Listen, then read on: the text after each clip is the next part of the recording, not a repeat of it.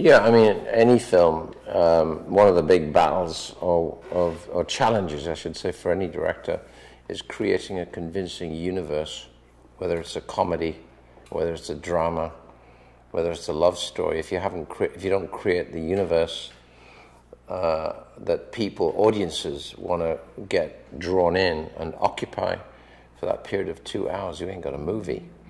I think that's one of the hardest things to do is creating the, a convincing universe. And um, Alien was um, right up my street because I was a designer, and I knew what to do. I think I was the fifth to get asked to make Alien, which is kind of amusing.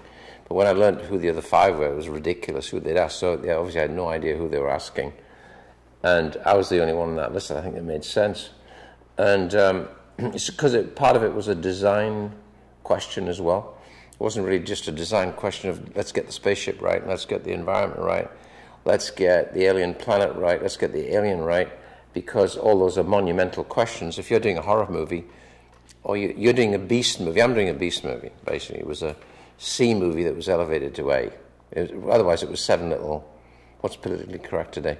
Seven little chaps in, a, an enclosed environment that where the beast or the killer is going to come for you. So it was that. That's what it was. It was elevated, I think, by a, some good choices and uh, a great creature. Because uh, the creature was unique and still probably remains to be one of the best of the best.